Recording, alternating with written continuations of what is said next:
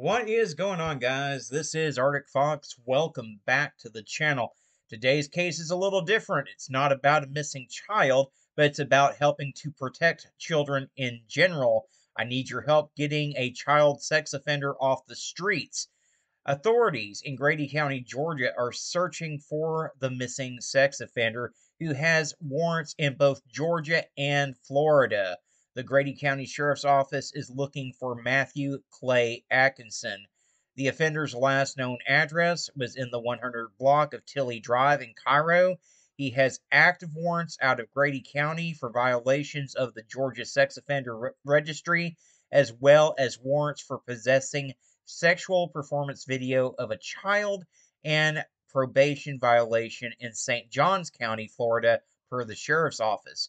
Anyone with information on Matthew or his whereabouts needs to contact the Grady County Sheriff's Office and speak with Lieutenant Edmonds at 229 672 2698, or you can contact the main Sheriff's Office number at 229 377 5200.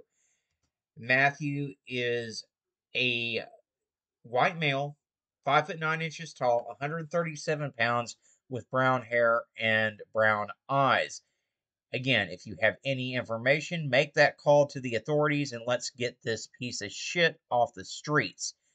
Do me a favor, guys. Like the video, share it out to your social media, your Facebook, your Twitter, your Instagram. It only takes a second to do, and it can make all the difference in the world in whether or not we're able to get this piece of garbage off our streets and protect our kids. As always, guys, I do want to thank you so much for tuning in and watching. I appreciate each and every single one of you.